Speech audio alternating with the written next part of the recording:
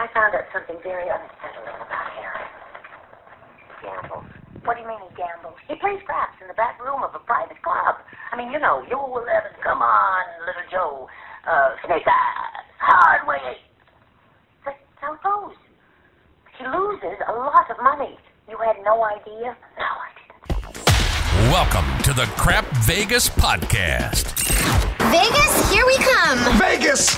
Here are your hosts, Chris and Josh.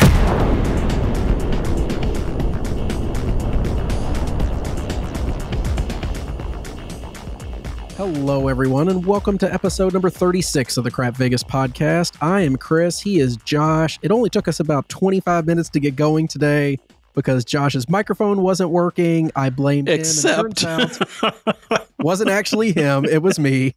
Uh, but we're uh, we're here. We're ready to go. I switched computers. I was fiddling with every sound setting I could find. Chris is like, I can't hear you. I can't hear you. No, Turned I got, out took a couple it phone was Chris. calls, played with the cats, and uh, I was like, "Hold on, let me try one thing," and here we are. But uh, Josh, how things going out there? Everything going well? Things are going really well. I'm finally over being a little sick and looking forward to our next trip. And, you know, just getting ready. School started around here. Have you guys started yet? Oh yeah, we started a, a week or two ago. So yeah, they've been back for a while. Already done all like the parent walkthrough meetings and all that stuff. Ooh, all that stuff. We have that coming up. And yeah, it's it's been great. So We're getting into our usual fall routine here. So uh, here mellow. All the all the vacations are over. Well, that's actually not true, but most of the vacations are over. I was gonna say it feels like you take a vacation like once a week. Every I'm to- week you're somewhere. I'm new. going to Kansas City in a week or two, and then we got our Vegas trip, all sorts of stuff. Oh, yeah, absolutely. So let's tell people how to get a hold of us. Uh, you can reach us via email. That's podcast at crapvegas.com. You can reach us on our Facebook page. That's crapvegas.com slash Facebook. You can reach us on voicemail. That's crapvegas.com slash voicemail if you want to leave us a message there. Or finally, the easiest way is always going to be on Twitter or threads in parentheses. um, that's uh, at Vegas Duffy. I'm at Small Whale 13, or the show page is at Crap Vegas. And no, Josh, I am not calling that X. Okay, so previous episode feedback. We received a comment from Neil on the CV Facebook page. Neil said, Love the show. Something fun. I'm seeing more and more bar top electronic craps games. For those times you want to get comp drinks at the bar and still play a little, saw it at Tuscany just off the strip. And Josh, yeah, we I mean we talked recently about our trips to video poker bars before shows Right. and stuff. And if there was a craps video, you know, equivalent at that time, I would have loved to play it. I was just thinking that too. I mean, throw a hundred bucks in the little bar top video craps machine. That would be awesome. Oh yeah, I mean, I I think bubble craps is like my like weakness where like I don't want to talk about it. I don't really play it that often, but I do love walking up to a bubble craps machine and playing on a hundred bucks or something. Yeah, and just to sit at a bar and get comp drinks. I mean, you'd have to know, like our experience with video poker. I think different bars and properties are going to comp at different levels and all that kind of stuff. But if you knew you could just sit there and play, you know, five dollar craps or something and get comp drinks for a while, I'd sure do that. Well, here's the the benefit to the casino if they did it. I'm not going to just play five dollars. I can guarantee that. I'm at least going to have Chris is playing two seventy 15, across 20, on the on the bar. on the bar. maximum. Can I get a marker right? Uh, that would be fun, Yes, but that that would fit my personality. So they would make a lot more money if they offered this compared to just a simple video poker machine. I can picture you going in the high high limit slot room, getting a getting a Tito ticket for you know three grand or something, taking it to the bar top craps, I'm going to play some bar top craps at the bar. Come on. where you get Oh. no tier credits probably. Oh yeah, I mean forget that point, but yeah, that's probably true. Um, so yeah, good information, Neil. If I saw that, I would definitely take advantage of it. I haven't noticed it anywhere on the strip that I've sat down, but then again, I don't sit at a lot of video poker bars. Yeah, if anybody knows if it's if it's creeping up around places other than than Tuscany, uh, give us a shout because I'm I'm curious and I you know I'd love to sit and play it and have a little pink drink and one of my favorites. Drink, yeah. Just give me a purple alcohol today. That's what I'm going give for. give me an umbrella. Okay, so we also got a comment from you typed out Jorcan, or but is it Jordan? is it Jordan? Jorkan, Jorcan. the mag- Might- the magnificent. Is this Jordan? You you had a little typo there? This is one of our. I think we have two patrons named Jordan, but yes, this is supposed to be Jordan, not Jorkan. Okay, so thank you, Jorcan. Uh, he, Jorcan says, thanks for the recommendation on absinthe. We ended up sitting front row, and I was the very first guy he picked on. It was hilarious. In my opinion, it's the best show I've seen in Vegas. Has a little bit of everything if you can handle some vulgar comedy. And yes, I mean, we try to push as many people as we can to Absinthe because it truly is the best show in Vegas in my eyes. Yeah, and no, we're not getting a cut or anything like that. We genuinely really liked it, and as long as you know exactly what Jorkan said about the vulgarity piece, it's fantastic. Now, if they want to offer us a cut to promote it, I'm more than willing to take it. So Yes. please reach out, podcast at crapvegas.com. But uh, Josh, that's a Caesars thing. We're not big Caesars players, so I No, don't know but it is we get there. it is an awesome show, and, and glad Jorkan that you liked it, and I'm glad our advice, you know, or our recommendation was proved proved out. Yeah, perfect. Uh, we also received a comment from Blair on the CV Facebook group.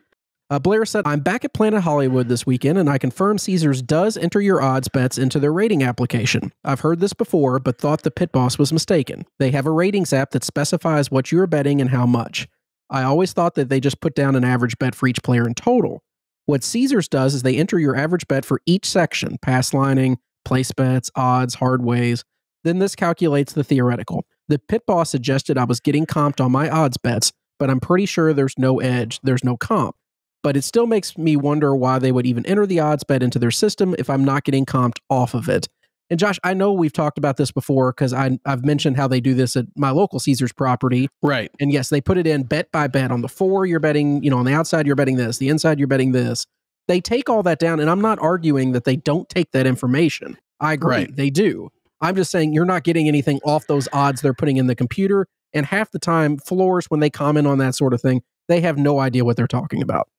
Yeah, and maybe if I mean, I'm wondering if they give you a rating, you know, if they say your rated your average bet is 500, is that taking into account those odds which are then not factored in your Theo? I mean, it could be totally misleading. Do you know what I mean? Yeah, that could be really confusing. But uh, what you know, Josh, we learned last episode from your trip that uh, Caesars gives everybody a numerical value as a number.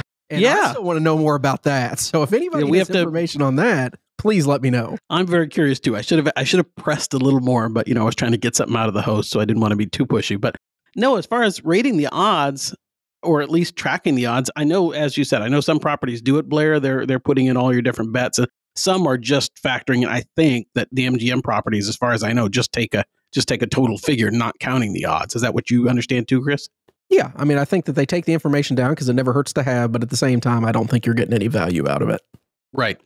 But it's Okay. good to know, and it, it's worth. Oh, sorry, Chris. I was just going to say it's good to know, and Caesars may do things a little differently. We know they do in some areas, so maybe they're rating differently. But I have a hard time believing you're getting much for the odds for sure. Yeah, and if you were, then I think everybody would start switching over to be pass line with odds and come betters. Because as uh, Jack says, that's the best bet.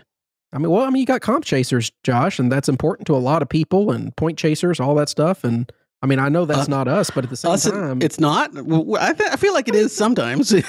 I mean, in some ways it is, but I actually don't enjoy come betting. I don't think no, no. fun. So I mean, like even if it was fully rated, I still wouldn't be a come better because I just don't like that style of playing. I know mathematically it's in your advantage over placing or buying, but at the same time, I just don't enjoy it. Yeah, I mean, I've talked about before. I used to do the three point molly a lot, and I don't dislike it as much as you. But once you get into the world of playing across or playing more numbers, it's definitely more fun, for good or bad. You know, one thing I was thinking about recently, Josh, and I haven't even mentioned this to you. I would consider on a really hot roll after we were like 20, 25 rolls in and numbers are really getting pressed up. Are you I going to regress? Consider, no, I wouldn't regress, but I would consider starting to put up come bets to take those place bets down because then at least, you know, in that final seven out, you're getting a little bit back for the come bet. And I would even go a little heavier on the base come bet, you know, or maybe lower the odds a little bit just for that protection when it finally comes. It's not a bad idea. We may have to give that a shot. I mean, how many times do we get up to 25 or 30 rolls and this really matters? I mean, you know, maybe once or twice a weekend. You're using the wrong set, Chris. That's what it is. I need to work on my set a little bit more. Okay, so let's transition into uh, the only thing I really wanted to specifically talk about this episode, Josh, before we get to a lot of listener questions that we have. Why is Vegas a destination for gamblers? And I'm not saying this like, why do people go to Vegas to, you know, because there's shows and there's good food and all that stuff. Right. I'm saying specifically, if all you're going to really be doing is gambling, which is what you and I do a lot of trips, And what a lot Right. of people I know do as well, they just go to Vegas to gamble. They don't leave their property they're staying at, and then they get in a cab and they head back to the airport and fly home. Why do gamblers do this in Vegas versus doing this in, say, a regional property or a local property? Why don't they go to AC or go to Biloxi or just go to their local Caesar's place down the road if that's all they're going to do and the shows and food don't matter? So I thought we'd talk about that a little. So you're saying shows and food and easy access to weed and all that stuff you're not thinking of as a how many times have we taken a trip and Right. gone to Vegas, landed in McCarran, got a ride to the casino, gone down to the tables, played, got a little food here or there, never left the property, and then got back in the you know car and went back to the Right. airport and never felt fresh air, you know, other than getting out of the cab for a second. I think, Chris, at least I'm going to just talk more for me than for kind of what I think might apply to a lot of people because, you know, we're different. I'm thinking, for me, I'm sure if I went up to play at the Tulalip Casino, which is a which is a tribal casino near me that has a resort, you know, that you can stay and a buffet and all that stuff. Why don't I do that instead of Vegas? I think it's the it's part of it's just the allure of Vegas. Even Mhm. though you're talking about not having, you know, kind of discounting those other things, I think the idea that if I want one of those other things, I could do it. Part of part of the allure of Vegas for me is not necessarily right that I might not leave the property, I might not have anything other than Wynn room service if I'm at Wynn, but the idea that if I wanted to go to a show or if I wanted to go have really nice drinks, if I wanted to, you know, go to some club or something like that, those are options available to me. Okay, but a lot of those things you can do in some place like Atlantic City or a Biloxi. And if you're like if, if you're me and you're an East Coaster, Right? it's a hell of a lot easier to get to Atlantic City or a Biloxi. yeah, you have a long haul. to get to Vegas. I mean, so why wouldn't I? But you know, at the same time, though, but I never consider going to those places over Vegas. And if you're not there, I'm not typically going to see a show. I'm not walking around to a bunch of different properties. I'm Right. at, you know, where say I'm at Wynn that trip. I'm at Wynn. I'm at the craps table 80% of the day. The other 20%, I'm in my room, resting, eating in my room, whatever it is. I could have that same experience of gambling and sitting in a hotel room anywhere. And quite frankly, I could probably get better gaming action at a local property. I can get 10 or 20 times odds. You know, Sure. maybe I can get more bang for my buck from that perspective. There's no travel cost, you know, getting to those places or less travel cost. Maybe they'll do more for you in a place like that. I don't know. I'm I'm just trying to figure out what it is in my mind that is saying go to Vegas when there are much better options for what I do typically on a trip. I'm thinking, yeah, as we're talking about it, I'm thinking of a couple things that kind of set it apart for me. One is it's a destination, it is an escape. So when you're Okay. trying to get away from just the daily grind of life or reality or anything like that, it is it it is an escape. I think it it Vegas still is a place that you can run off to. You can kind of, you know, escape reality and the daily grind. I think that's part of it. I think the other part of it for me, and I've touched on this before, is I don't want to get into the habit of playing locally that Vegas is a forcing function of, you know, I have to fly two and a half hours or two hours and all this kind of stuff. So I can't play every week. So I think mm-hmm. that's part of it is that it's a it's a safety a safety valve or a safety factor for me. Those are a couple things. What do you think? I mean, I think you're right on those things, but I think I think mostly it's just a mental thing. Like people think Yeah. Vegas is where I go to gamble, so I'm going to keep going to Vegas, even though I know I can do it closer and for cheaper and get the same sort of you know actual gambling experience. But there's just something about being in the city that makes it so much more enjoyable. And we'll talk about it a little bit more at the end. Uh, but I'm going to take a trip this weekend that I wasn't really planning on taking, and I'm going to stay at Wynn again, even though I haven't been there in what felt like six years. It's been three months, but that's a long time when you used to go to Wynn all the time. but I'm going there not so much because Wynn's doing something amazing to draw me in. They're not. They're actually doing the opposite of that. But at the same time, I miss the feeling of playing there. I miss the dealers. I miss the camaraderie. I miss the small things like the Tower Suites bar, getting the coffee and stuff. Yeah, I yeah, miss yeah. all those things. It's not like I have a, a relationship with these people. Like if they never saw me again and I never saw them, my life wouldn't be affected at all. They wouldn't miss a beat. I wouldn't miss a beat. It would be okay. But I, I just want to get back out there and see them and have those interactions and do it again. So maybe it doesn't matter, you know, what the gambling rules are, what the location truly is. It's just the connections that we can make with some of these peoples and places. I think that's definitely it, Chris. I think a lot of it is, you know, the the people and also kind of on the flip side, people that play regularly at local joints, and I'm talking about local not outside of Vegas, but I mean not in Vegas, but people that play locally in our regional casinos, oftentimes it's not as much fun. You know, the thing about Vegas also is people are there usually for vacation and to party and to gamble party, whatever it is. And that's a different vibe than if you're playing at your local joint. No, that's 100% true. When I go to the local place, I see the same four or five people that are there 24 7. Right. They're not that friendly. I, I just, I usually don't enjoy myself. And that's why, honestly, I haven't gone to my local place in a while and probably won't go for a while just because it's not the same experience. I've, I've found that I'd rather just take the flight and get myself out to Vegas for a weekend, even if it's for one night. Like, I'd rather Right. fly to Vegas midday Friday and take a flight out at 10:30 Saturday morning after I got a long Friday session in, got up early, played all morning. I enjoy that far more than going to my local place even if I played there for a couple days. And you know, I really don't lose that much of my weekend to do it. So, yes, it's not as cost effective to do that. It's expensive to fly out to Vegas, but my thought is always the same that when you get everything else for free, you know, when you're eating for free, when you're staying for free, they're giving you tons of free play to come out there to do it it offsets the cost of the flight pretty quickly. Yeah, and the other thing I was thinking about, I know this doesn't apply to a lot of our listeners probably, but I think there's a fair number it, it does. I mean, Joyce might be a good example of someone that popped into my head. I think part of the reason is the the ability to to do, you know, to have a very luxurious vacation. I can't get that if I go to my travel property. Can't hit the level of room that Wynn has or that Sky, Sky Suites has, or can't get that level of service, that level of luxury. You know, today, Josh, just out of curiosity, I put a poll on my Twitter page asking people, what do you get the most out of? Do you get more in offers and comps from your local property or Vegas properties? And about Right. four out of four out of five people said that Vegas gave them more than their local property does, which makes sense. And I think that this is mm-hmm. something worth echoing because I hear this a lot, and I think somebody even responded to the poll about this. People have expectations that where they play the most is where they should get the most from. That is not always directly correlated. If anything, sometimes it can be the inverse of that because local properties already know that you're hooked, you're going to be there, you're going to come. Right. They don't have to give you much to get you there. They may give you $100 in free play, where Vegas may give you $700 in free play because they Right. know it's a hassle to get there. You probably have to take a flight. So they're typically going to offer you a lot more. So the poll response makes sense that you get more from Vegas. But at the same time, you shouldn't have high expectations for your local property to give you a ton because you're probably going to come one way or the other. Yep, I think that's absolutely right. You're just you're they're not gonna they don't have to woo you the same way that Vegas does. No, exactly.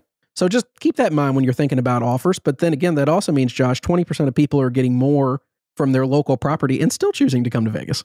Yeah. Well, I mean, and I think we kind of cabin this discussion to just if you're, you know, not into all the other things that Vegas has, but when you put in all those other things, Oh, it's a no brainer at that point. yeah, I, agree. mean, if you want to see a show and you want to have top notch five star dining and stay in a luxurious resort, well, of course you come to Vegas. It's by Right. far the best place to do it. But if you're just a gambler and that's all you really want to do for a day is gamble and eat a couple meals, then that becomes a harder proposition. But I still understand why we do what we do. me too.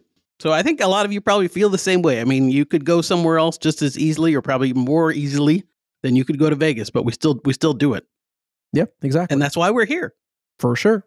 Okay. We got a bunch of listener questions to get through this week, so let's kick them off and get going on these things. First, we got an email from Mike. Mike said, Hey guys, thanks for all that you do. I never was big into podcast and heard about yours from a friend, and now I'm hooked. Thank you also for the You Can Bet on That referral. Love their show as well. No more radio for me. Question. He, uh, he goes on to say, I haven't listened all the way back to episode one, so I apologize if this is a repeat, but can you talk about how important a host actually is? I get good offers from MGM and Caesars for their properties with free rooms, food and beverage credit, and free play. So I'm not sure what else the host could do that I'm not already getting. If it matters, 75% of my play is at MGM properties, and I would say my average bet on the tables is around 150 to $200. Thanks for all that you do, Mike. Yeah, that's a really good question, Mike. Thanks for asking. I, we have talked about hosts, but I don't think we mind talking about hosts at all. Uh, again and again, it, there are experiences with hosts, and our opinion on hosts is ever changing. And Mhm. I would say that there definitely is value in uh, in having a host, or there definitely can be value in having a host. A host can give you, well, first of all, a host can make you feel special. Just the idea of having a host and that you're a hosted player you know, you feel you feel like you're something special. So that's a little bit of it.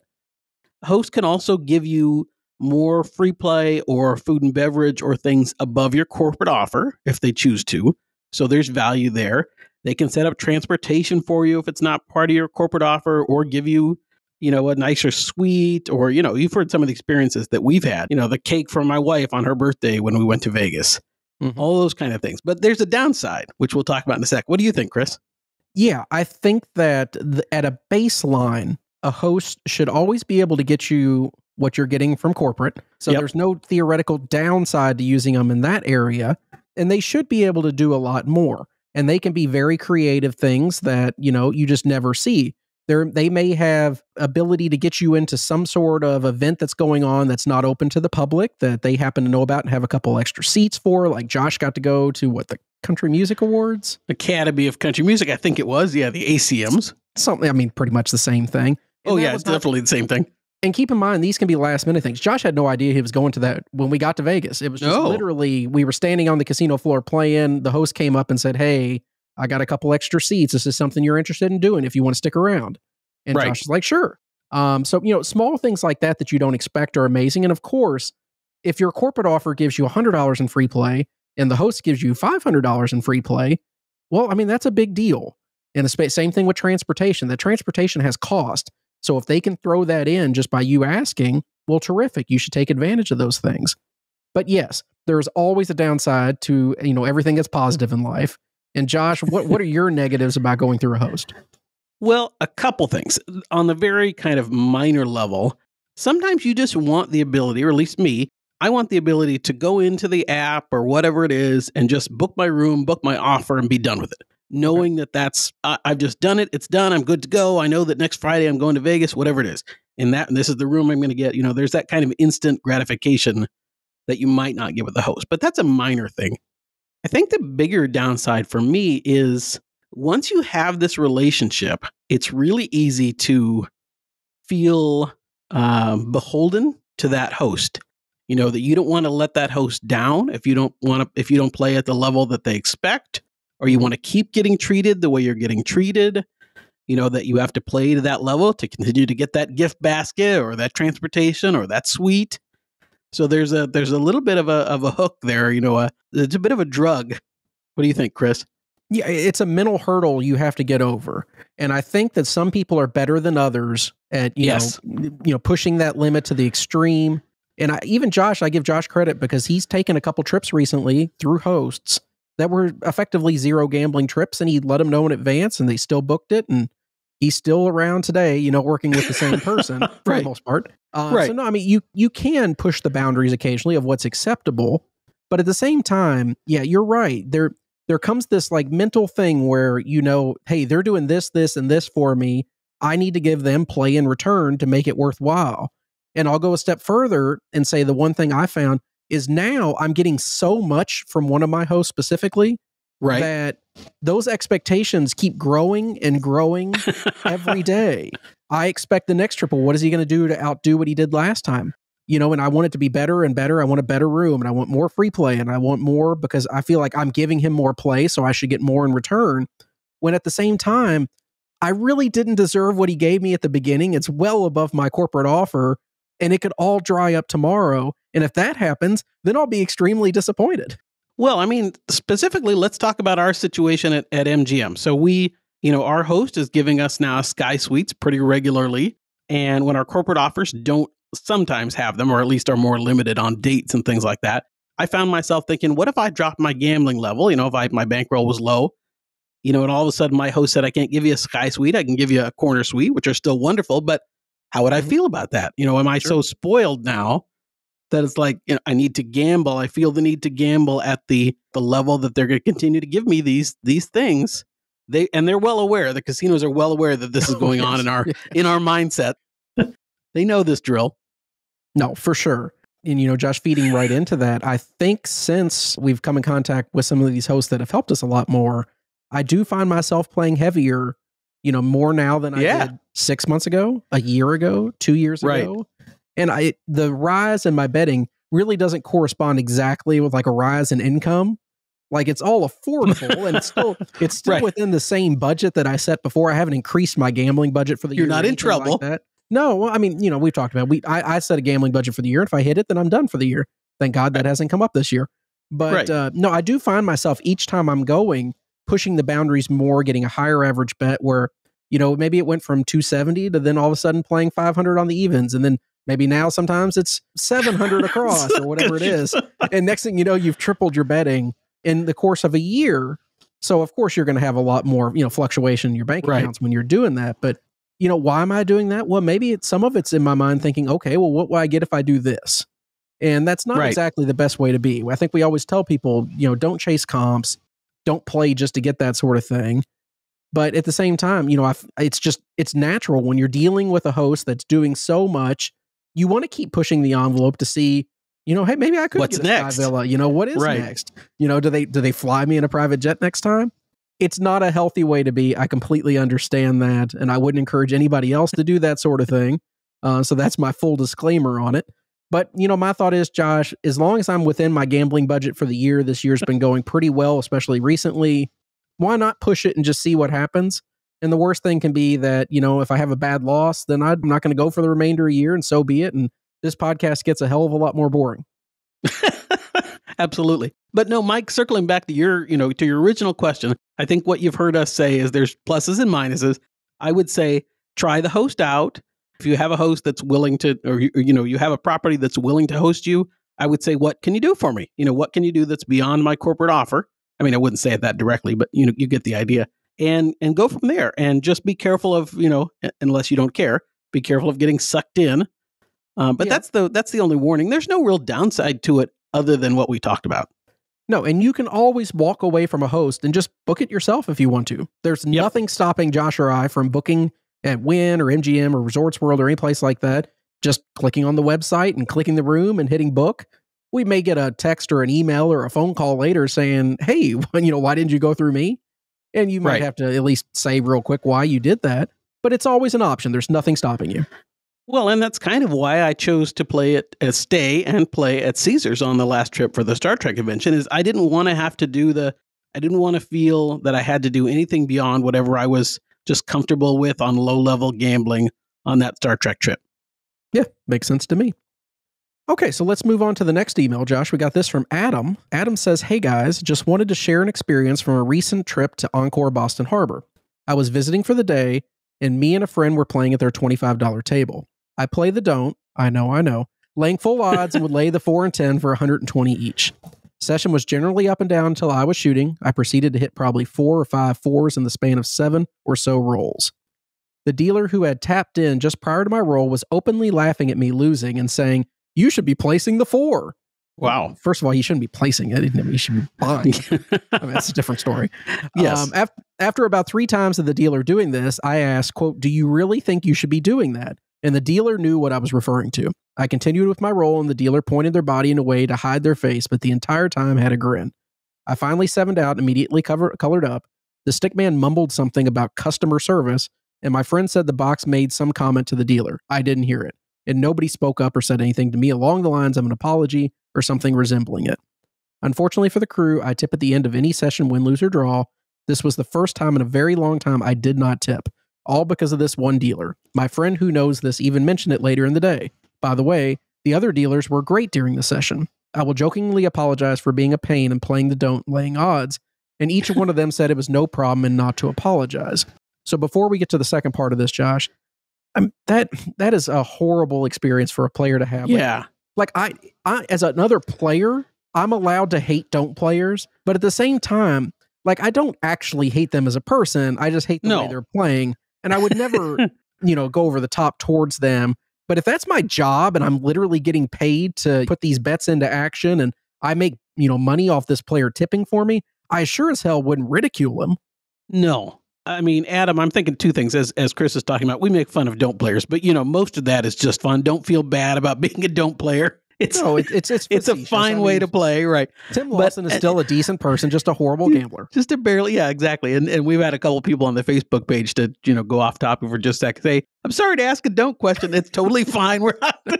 No, we That's still like you okay. as a person. but no, what I was going to say you're on the serious side is that would I, I think I would have just probably gotten up and left the table if I'd had that happen from another dealer. It's about you occasionally get that from other players, and that drives me nuts too. I mean, we've talked about stories where, you know, to use the don't player as an example, where a don't player is yelling seven, all you know, that kind of thing. If I have that kind of, I mean, that's the reason that I like craps. And again, this is different from the, the don't side, but I like everybody to be kind of be playing the same way, so we all win or lose together. And I want the dealers to be supportive and with me. And I'll say, Josh, that's the one thing. If you ask me one thing I don't like about Aria as opposed to Wynn when we're comparing those two properties back and forth, Right? I have come across more don't players at Aria Yeah. than, than any casino in my life. I don't know why. Like, there's nothing special that they do for don't players that encourages them to play there. But I mean, Josh, I walked up to a table on my last trip and I got there. I was the only person at the table and I was immediately joined by like five don't players. I think maybe I told a- you I had a similar situation. Maybe I have a reputation. Like they see this guy walking up, this guy sucks. Get he to know the you. table. He knows you can't shoot. They know you can't shoot. But like, I don't understand that. And yes, they actively like, you know, they're really hoping for the seven to come and they're yelling it out and doing all that stuff. And it's not like I think like I have a tendency to like immediately bet against that and go like even heavier on my bets and you know really lean into the all tall small because I know they're on the don't. You know, does that change anything? No, it doesn't change anything at all. But at the same time, it bothers me. I don't want you to be adversarial. That's not that's not good. But if you're quiet and you're respectful and you're just playing your way that you want to play, I'm Right. fine with that. But I don't want to play a, with a table of don't players. No, and for a dealer to be doing that kind of thing is just awful.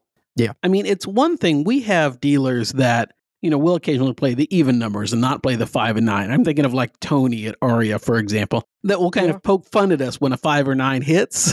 Oh yeah, they it's, it's And- not just Tony. It's it's most right. and I'm I'm good with that within within limits. If I were getting killed, you know, Yeah. just slaughtered, then it might start to, you know, and we've talked about that too at one of our last trips at Wynn. Somebody a dealer went just a little bit too far. And so I think it's a a, a good dealer can can give just enough pushing to make it fun. Mhm. But if you're, you know, it, it, they, they they have to be careful about that. Yeah, I mean the first comment when a five or nine hits and I'm not playing, it's oh right in the gap, you know, because there's nothing Right. to bet there. Right. That's fine. When the third or fourth five or nine in a row hits and they're sitting there just kind of laughing at you, almost like, "Wow, you made some great choices here." okay, that, maybe that's pushing it. You know, let's not go Right. beyond that. I mean, we know. I mean, every bettor knows when they're not making money that you know they're that sucks, and what's not make them feel even worse about it. But Right. Let's get let's get to the second part of Adam's email and what came of all this, Josh. Uh, Adam says Encore sent a survey, and I made a point to mention this interaction. Much to my surprise, a table games manager called me up and we discussed what happened. He had Oh, wow. already looked. He had already looked at the film and kind of knew where this was going, what the where the dealer interaction was. I walked him through everything to line up with the film, and he profusely apologized and offered a few things to make it right within his control. All were at Encore Boston Harbor, and I wasn't going to ask about whether he could do anything in Vegas. Just the fact that someone read the response, then floated the feedback up the ladder, did some investigating, and they were going to speak to the dealer in question was more than enough. I didn't expect that level of response. In fact, I expected no response at all. So to get 10 minutes to explain what happened meant a lot. I was already considered playing it when Encore in Vegas, but now the decision is even clearer to do so. Well, I think Adam that first of all that response is fantastic. Um, I mean, just as you said, just to get a response on one of those surveys. I mean, how often do we all fill them out and you never hear a peep? But to get someone that was really seemed to really hear what you said and pay attention and do some investigation and listen. I mean, that speaks volumes. And I'm not going to say you know it's because it's Wynn and that kind of thing. Even though in my head I'm thinking it's because it's Wynn, but um, Yep. it just is really. I, I like to hear that. That part of the story is good for sure. Okay, before I get my feedback here, Josh, I don't know if this is another Josh mistake, like with the microphone and everything, but the uh, the caption that you gave me said email from Adam, and I get to the very end of his email and it says thanks, Bill. so uh, I, I don't. I don't think- I think- that uh, abbreviated down to Adam. That wouldn't make sense. I don't think this is a Josh one. I think this is a Chris paste to our show notes. So Adam uh, or Bill, whichever one you choose to go by. I think Chris Adam is apologize. Adam is is also the one that we're going to get to next. No, that's Andrew. No, there's two Adams. You have Adam twice. So have, Okay, so this was all Bill. Adam, um, you're coming up in just a minute. Bill, my my sincerest apologies. Um, if you want to leave feedback, just send an email to podcast at crapvegas.com and I'll have Josh call you back within uh, you know a day or two.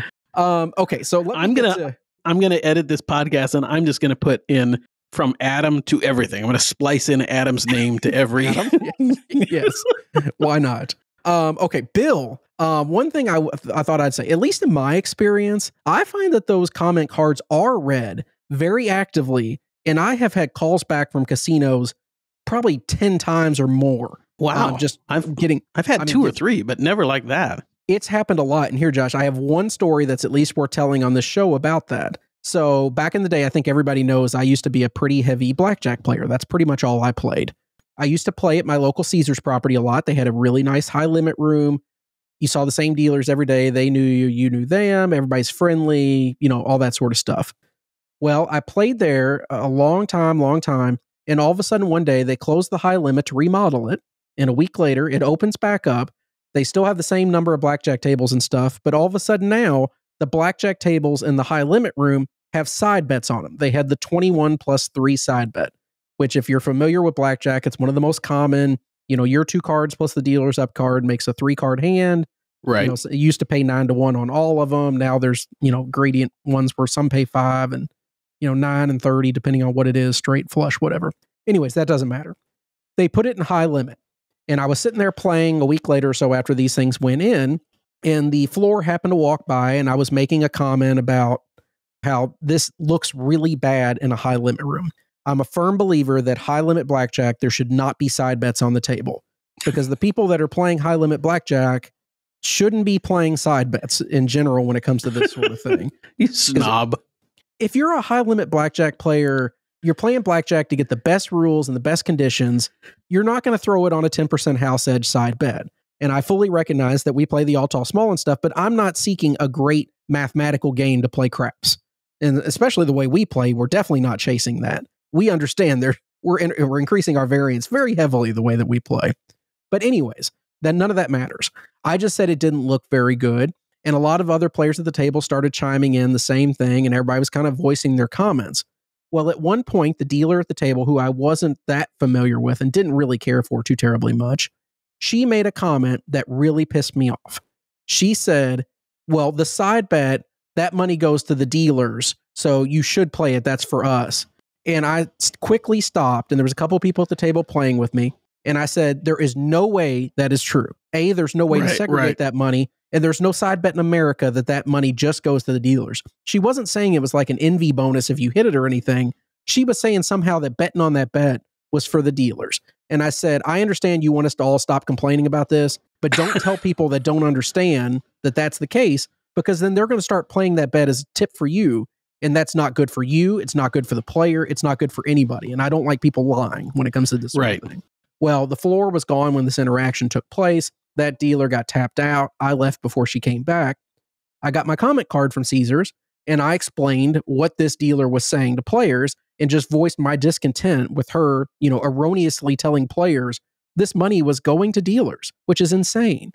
I got a call back, I don't know, three hours after I sent this comment card in from their head table games manager, um, asking to me to explain further kind of what happened and confirm who it was and all this stuff. Right, right. It's not my job to protect these people, Josh. If you do something that dumb, I'm a firm believer that, you know, you're going to get smacked for doing it. So I explained and told him who it was and, you know, why I was, you know, upset about this happening. And he said, okay, thank you. You know, I apologize for that. You know, that's obviously incorrect. We'll talk to the dealer. I went in about two or three weeks later, and all of a sudden, like every dealer I knew started walking by my table and asking, hey, did you hear what happened? And I was like, what are you talking about? Because I'd forgot about it at this point. I, you know, out of sight, out of mind. It wasn't a big deal to me. I was just sharing the story. Well, she got fired um, Oh, because wow. of her actions on this. And everybody's like, yeah, she got fired. And, you know, she was really upset about you. And I said, well, how does she know it was me? He- said, well, I, I think you're the only person that made a big deal about it. Um, and so she you knew- did, Chris. She knew it was me she, and she ended up losing her job as a result of it. Mm-hmm. But you know what? I'm perfectly fine with that. You can't lie to players about where money is going or what Yes. the purpose of it is. If you didn't want people to keep complaining about this thing on because that's all it was, it was we were just jokingly bitching back and forth just say hey guys come on let's drop it move on. And we all would have. I mean we're all nice reasonable people.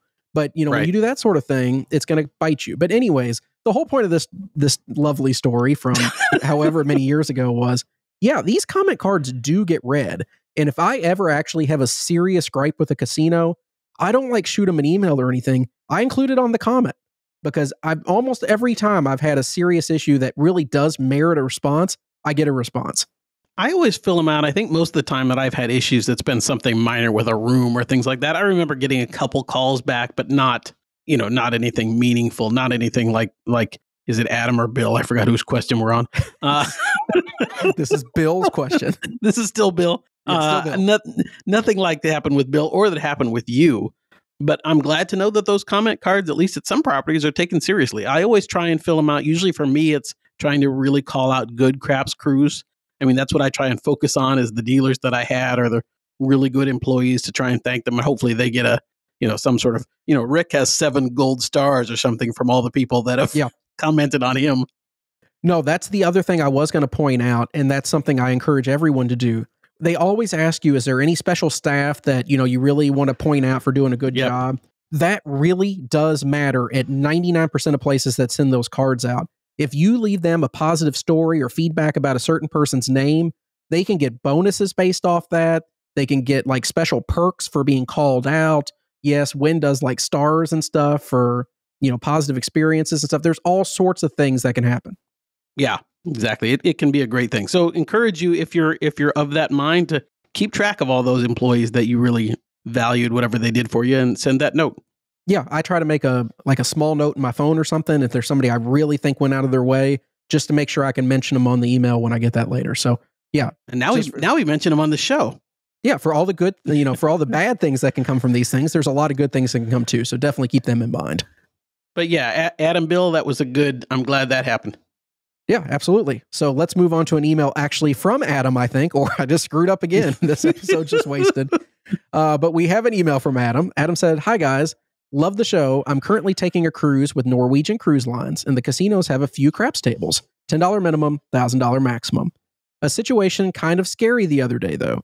The person next to me was betting a consistent $10 field bet. During one of the rolls, he accidentally grabbed a $500 purple chip in a nickel, Oops. a, which is a $5 chip, instead of two nickels, making it a $505 Woo. field bet. So that's under the maximum table limit. It's above the minimum. That's a legal bet. Right? It hit. The bet won. A field number was rolled. The dealer then noticed he had accidentally bet $505 on the field instead of his usual 10 and grabbed the pit boss. The pit boss initially refused to pay the $505 win and paid the man $10 suggesting quote his bet was a mistake bet and he clearly intended on betting $10 just like he had the past few hours.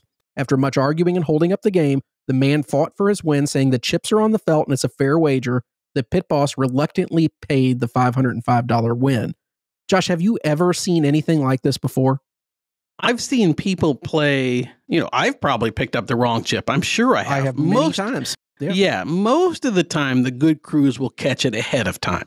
Yes. You know, your your really good crews will see that. If not, I've always I don't think I've ever had a situation where they didn't make it right. Now, what does make it right in this situation is an interesting question.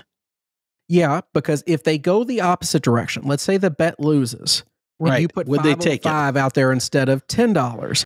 Well, if they quote unquote make it right and just take ten dollars from you and give it back, then you just got a free shot. Right. And that's not good either. But if they pay the whole thing, it, when they would have taken it, you know, not taken the whole thing, I mean, yeah, you can't do that. It's not fair to them as well. My thing is, if it's a bet on the table and it's within the limits and they don't catch it, you have got to honor the bet as is. I would fully expect to lose that bet if it lost, and I fully expect it to be paid if it wins. I would too. I would too, honestly. And Chris, it's interesting. And and Adam, you know, you you bring up the cruise ship craps, and I was thinking about my last experience. We talked a little bit about it, but one thing I forgot to say, Chris, I don't even think I told you this. I had a kind of a similar situation. So the cruise ship was capped at two times odds, but I mm-hmm. didn't know that. I figured it was five, ten times or something, and it was a five dollar table. So I think early on, I did five with like forty or fifty dollars odds. Mhm. Not not even you know because I'm used to a I'm used to playing at a level You're where I can play more, so it didn't right. like so. I just put down forty or fifty dollars odds, and you know didn't even think about it. Well, the bet whatever it was lost. Seven came, and I lost that. Nobody said a peep. And Did then take- later the on, fifty.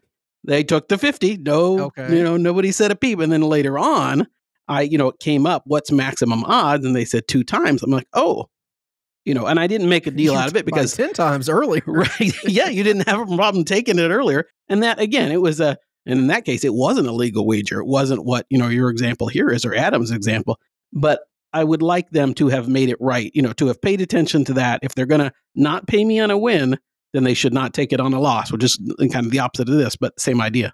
Yeah, I don't care, you know, which direction they want to go. Because some places, if you're over odded, they'll pay it as a place bet or a buy Right. bet, whatever it is Right. for anything that's over the top. That's fine, you know, and then you can take the whole thing if I lose. I'm okay with that. A lot of places are very good about double checking to make sure that you're not over on odds. Um, and there are some properties, and I know Mike and Mark have mentioned this on their show multiple times, but I saw it firsthand when I was there. I know Diamond Jo Worth if you were heavy on the odds, they would even if you if the bet lost, they would break it down and make sure it's Right. the correct odds on the bet. They would return what was over, and at the same time, if it won, they'd break it down and just pay you on Yep. what you should have had out there. And that's I actually prefer that method because too. I I think that makes a lot more sense and there's less room for error there. So uh, let's stick with that. But to finish his email, he said, Personally, I found it scary how the pit boss did not want to pay what seemed like a fair wager. Mistake or not, the chips were placed in the field and the dice were moved by the crew. If it were the other way around, I, we all know the house would have loved a quick $505 grab. Props to the man for standing up for his win. What do you guys think? So I think we've, we've given you our feedback Yeah. on this. Really bad situation. Mistakes happen. Josh, I've done this many a times before where I meant to put out, you know, and I've gone the both ways. Oh, I've yeah. meant to put out, Yeah. you know, hundred dollars in odds, and I've put out five dollars in odds, or I meant to put a hundred and I put five hundred somehow. Yeah, just stupid stuff. But a good crew should immediately recognize that there's an error and get it corrected well before the dice are sent, or even if the dice have been sent to say, oh, hey, you know, just max odds, max odds, no action on Right. the rest or something. Just so everybody knows that you weren't really trying to play that. And you know, a really, really good property might now this is a pretty extreme example, but sometimes you'll have situations where a property will pay to the player's advantage and they wouldn't have taken, you know, they wouldn't have taken the whole 505 in that situation, but they will pay it. You will find that sometimes. They'll choose to they'll choose to help especially if it's a regular player or things like that, you know, that you can see every once in a while they'll make that in the player's favor. Yeah, you'll see that more at I think higher end properties that have uh, you know, True, yeah. more realistic expectations on that money coming back pretty quickly. The places that sweat the action that probably The cruise ship, I would have loved that quick 505 bucks and ran, yeah. Oh yeah, that would have been awesome. You'll never see him again. Don't care. Right. So uh, okay, so thank you for that, Adam. We appreciate it. We received another email from Adam. No, it's it's, it's Andrew this time. I think I checked the beginning. Adam Adam. Bauer is going to get a big ego over all this. he is. None of these are Adam Bauer, as far as I know, and I don't want to give him any props on this show. Uh, but anyways, email from Andrew. Hello, I just found your podcast, and you have been the only thing I listened to for the last couple weeks. Thought I'd let you know about. Yeah, I know, very sweet. uh, thought I'd let you know about my trip. I booked a comped one bedroom Mountain View Sky Suite midweek, so he must be at Aria, Josh, because that's the only time I have a Sky Suite available to me in my offers. Understand that. That's typically when Yep. I have them available in my offers Yep. too. I've only ever stayed in Mountain View Sky Suite, so I was hoping to upgrade to a strip view at check in for a minimal price. Well, much to my delight, I found out I was upgraded to a penthouse one bedroom panoramic Sky Suite. We know what those are. way- all the way up on the 51st floor. And he says, clearly they like my action more than Chris's, who they are restricting to the That's right. 27th floor. yes, that is uh, very annoying. But notice his penthouse was- Sky Suite is not on the top level, though, Josh, but so be it. It's I- close. It's closer than yours. It's a hell of a lot closer than mine. Uh, I enjoyed watching the action at the airport and the sphere at night. I'm only a $25 low limit craps player, so I asked why I was upgraded, and they said it was due to my gold status. So that was a nice perk. Very nice. Our last evening around 11 p.m., I told my partner I would try craps one last time. I had to catch a hot shooter. Ended up at a $25 crapless table. Buy in after the shooter made his point, and then, of course, the next one is point seven out.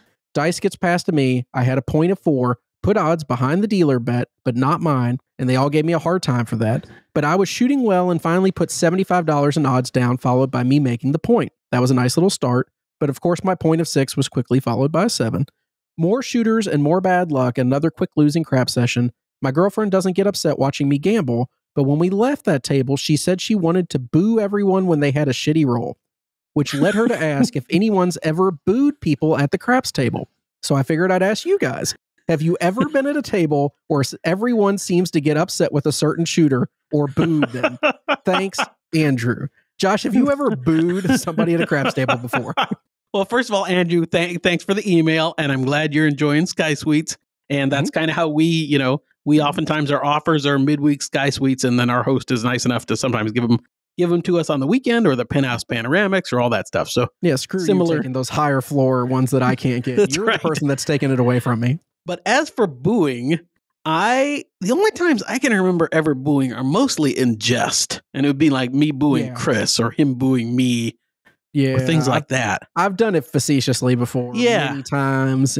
You know, I'll even do it, Josh, after like a you know amazing shooter with thirty five or forty rolls, and they throw a seven. I'll start booing jokingly. Right. Well, yeah, You that's know, a fun one I to mean, do right so after a great roll. Uh, Right. but at the same time, no, I don't think even a don't player, I wouldn't boo them. I'd leave No. the table and cover right. up, Right. but I I wouldn't boo somebody. That's not really my Now- personality. in my head sometimes if I have somebody that's had two or three bad rolls, you know, that they roll and it sucks, they're 0.7 and then dice go around and they do it again and I'm aware that it's the same person. In my head, I'm thinking this person can't throw dice. You know, then why are they not passing? He's even though I know that- the wrong set. Why is he doing this? right. that lady can't throw them halfway across the table, or that guy's throwing them off, or whatever. Um, but I've never, ever. I'm always really careful never to do that publicly. Th- that's just not any fun. You know, if No, you're if you're don't so booing, yeah. I mean, it- again, we we want to win or lose together most of the time on craps, and chances are, if somebody else sucked, you're losing too, and you're going to suck just as bad, and blah blah. And you know, Josh, I don't know if I should or not, but I feel like a lot of the people, especially because we tend to play higher limit tables, you know, fifty dollar table, hundred dollar table would be it. I have a tendency to think that you know these people may come across like in a professional setting at some point in my life, or at least I like try, I like to treat it that way. Right. And it it has happened before where I've I've got business out of oh, standing Oh, at yeah. the craps table, you know, talking to somebody that's in this, you know, he was looking for some work in a field that my company works in. I was able to get a business card and turn it into something.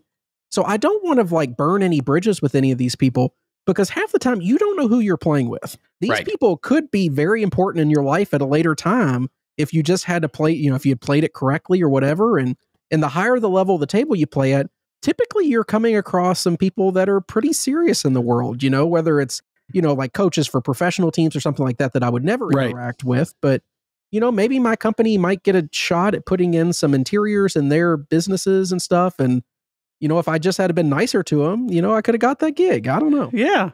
But no, I think, you know, I, I at least have had a desire to boo people. So I understand your girlfriend's, uh, you know, wanting to do it, but I've never actually done it. No, same thing.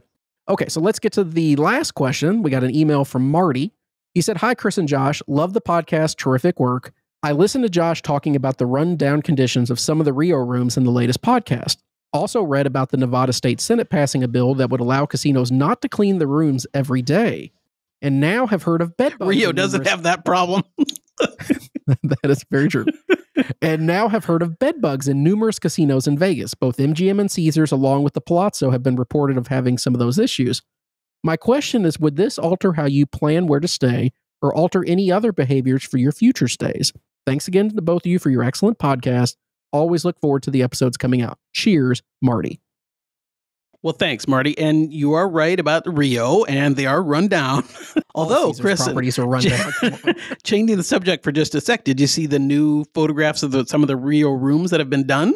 They Yeah, don't look, half bad. Yeah. they look just as bad. Oh, they did don't look ha- Well, maybe boring, but they don't look half bad. At least they're, you know. I mean, I'm used to what- very excited about that, but okay. But any, anyway, back to back to bed bugs. I've read those same stories, and it does concern me a little bit. I mean, especially having just stayed at Caesars and just spent time at Rio and things like that. More that's you know that's been on my mind. Caesars had Legionnaire's disease, I think, recently. Yeah, no, I saw that. that was really exciting. So I'm and of course I got sick right after the Star Trek conventions. I'm like, did I catch that?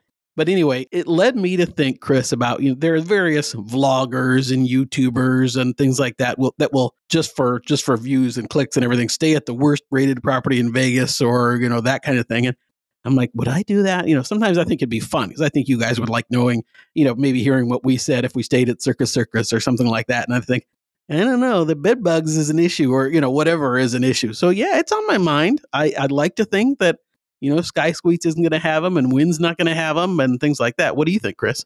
Yeah, I mean, it sure feels like the lower the level property, the more likely you are to have something like that happen. And it's not specific to Vegas for me. I, I have a tendency to check like bedbug registries and stuff like that if I'm taking my family on a vacation somewhere. Right. Some places that we've wanted to go before were historically known for having those issues, and we've just completely skipped those places just because of that. But no, um, yes, I mean, if there is something that's that large, like bed bugs, and it's all over the news, and they're like, Wynn now has bed bugs, and it was in 40 rooms, then no, I'm not going to Wynn if that's the case right then. I will stay somewhere else. So, no, it, I mean, it absolutely affects what I choose. I care about the quality of the room, I think it's important. And one of the reasons I stopped going to Cromwell towards the end is that Caesars just let the place fall apart. The rooms were dilapidated. There's holes in furniture and things falling off and things weren't working. So I just didn't want to go there anymore because I don't want to stay at a place that isn't up, uh, you know, upkept at all. And Caesars is historical for doing that sort of thing. I mean, this is just who they are. They upgrade a property and they let it fall into disarray. They wait 15 years and then they'll upgrade another part of the property. That's just what they Yeah. do. Now I understand the reality of life as a you know as a hotel as a you know especially a resort in Las Vegas where you've got people coming and going from all over the world that people are going to bring stuff in but your good property or well I shouldn't say your good properties but your well managed properties are going to be cleaning very often you know to get rid of It's those things whatever they are One that- room to a hundred Right. rooms. It's Right. specific to that room. They eradicate the problem and we move Right. on. Yeah. No, I. I mean, I don't I don't blame the property for the introduction of bed bugs or whatever it is, but I do blame the property for not finding it and isolating and eradicating whatever it is. Yeah, I agree. Okay, so we were able to empty out some of the emails we've received recently, Josh. So that was really exciting. That was We all from Adam. Very, I mean, we really don't do that often. So, yeah. Did some of those emails come from? You notice, folks, we never say what date the emails came in. no, I try to stay We- away from that. we got this email in August of 2022. It does happen, um, but I think on this one, Josh, I, I actually went backwards. I actually chose some of the most recent ones. So, uh, well, you know, you know uh, the the rundown Rio one could have been an email from a couple of years ago too, just as easily. I mean, as an accountant, you know, it's it's LIFO. You know, last in, first out. That's how we right. respond to things right now. So that's what we're doing. I was I was as you're saying that I'm like, isn't it FIFO? And then I'm That's first because in- first out, Josh. 'cause in I mean, that- that's shipping how we should and in dist- respond to them. in shipping and distribution. It's FIFO. Well, there you go. Okay, so let's uh, mention Patreon, patreon.com slash crap Vegas. Uh, one thing before we do the normal spiel, I keep forgetting to say this, so I'm going to say it right now so I don't forget. We are Ooh, I know where you're running an, an NFL survival pool for our patrons on there. It's all set up. You can get registered. Um, all patrons get a free entry. Um, if you're a KCS, you actually get two free entries. There's some really good prizes, you know, Amazon gift cards and merch and all sorts of stuff like that. We're even running a potential program to double the prize pool depending on how many entrants there are. We'd love to have you over there. If you're hearing this when it first comes out on Sunday, uh, that means we are one week before the first week of NFL season, and you can register all the way up until next Sunday at I think one o'clock. So if you want to register for Patreon in the next week, you can get in on that contest for free, win a prize. We'd love to have you over there. I know nothing about NFL football. I'm a college guy. I'm going to get killed, but Josh and I will, you know, we'll participate. We just won't last very long. So we'd love to have you over there. So get registered for Absolutely, we definitely would, and I'm looking forward to winning the whole thing and Chris sending me my Amazon gift card. That's not happening.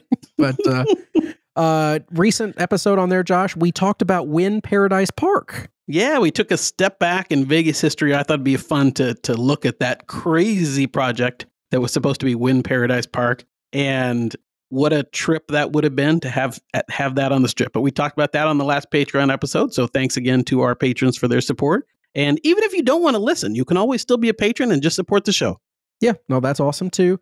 Josh, I really enjoyed that Patreon recording because I I wasn't super familiar with Wynn Paradise Park, so I learned a lot trying to get ready for it and having that discussion with you.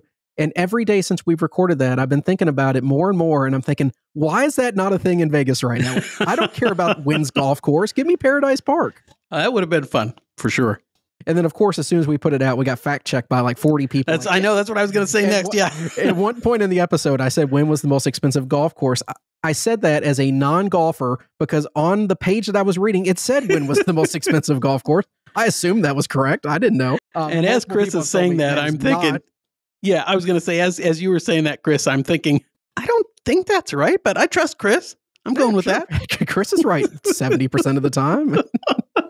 Anyways, no, so it was a really fun episode talking about it. I wish that was in Vegas now. Maybe that would bring some more life to the north end of the strip than what exists right now. But a big thank you to the new uh, patrons that we've had in the past week. That is Tyler G, Andrew C, Ronnie B, Scott P, Eric M, and Bill R. Thank you again to all of you guys that have signed up over the past week. We really do appreciate it.